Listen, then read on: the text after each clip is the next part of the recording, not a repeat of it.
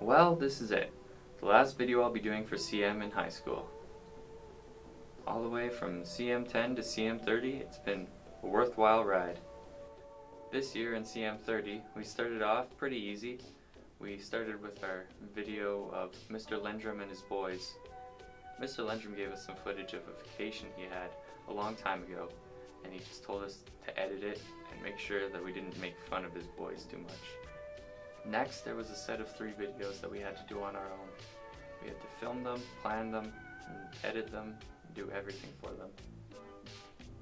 These three videos were our public service announcement video, our interview video, and our true story video. After those videos, we got into groups and did some group work. These videos we had to plan together and make sure to balance the work equally. These three videos were our story in reverse, our best of something, and our student choice video. Then that brought us to this video, the capstone, the final project. All in all, it was a good year.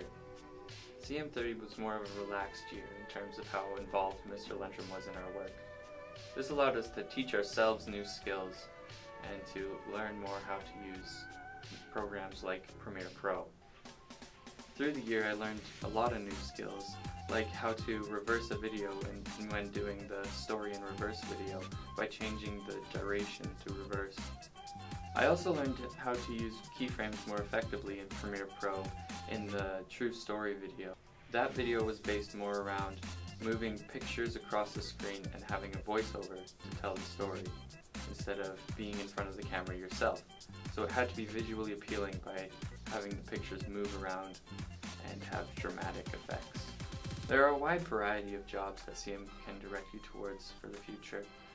There's the obvious ones like cinematography and being in the film industry. There's also photography with the skills that we learned in CM 10 and 20.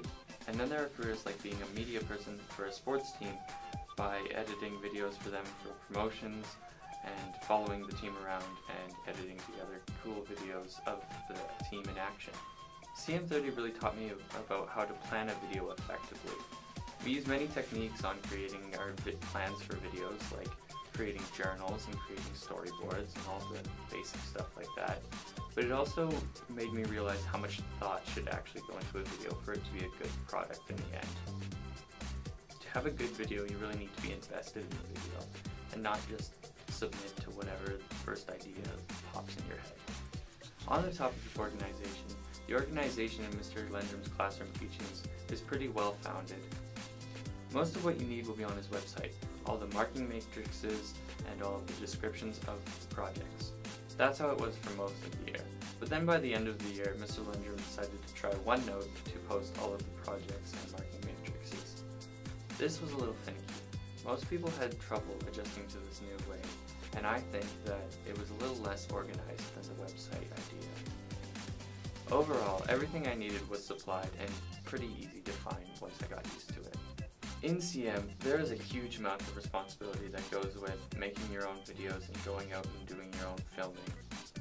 We have to make sure that our videos are appropriate and that we do not leave the school grounds during class time. In CM30, there were two times where we collaborated as a class to make the marking matrix. I felt this was a good exercise.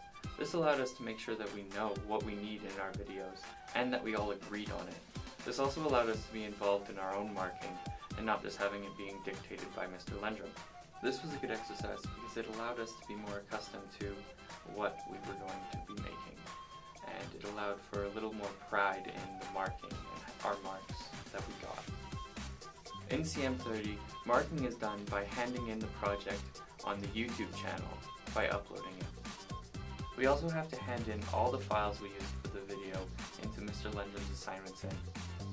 After that, we fill out some questions on the marking matrices and then print them off and take them to Mr. Lendrum, where he will watch the video in front of the class and then tell you your mark.